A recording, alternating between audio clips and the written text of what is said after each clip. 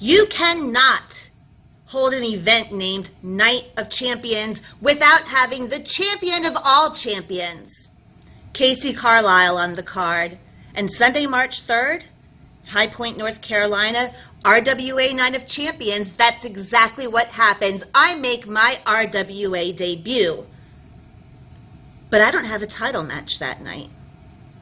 No, I have to go through Lindsay Snow, the MMA specialist, Lindsay Snow. That's fine. I'll take on all challengers.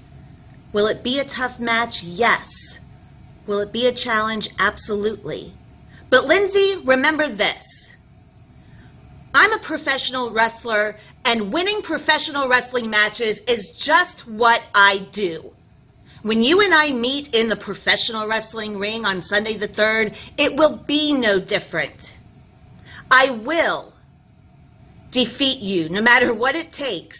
I will get the one, two, three, and you will be my first stop on the way to RWA Gold. So Lindsay Snow, RWA, High Point, North Carolina. I'll see you this Sunday, March 3rd at Night of Champions.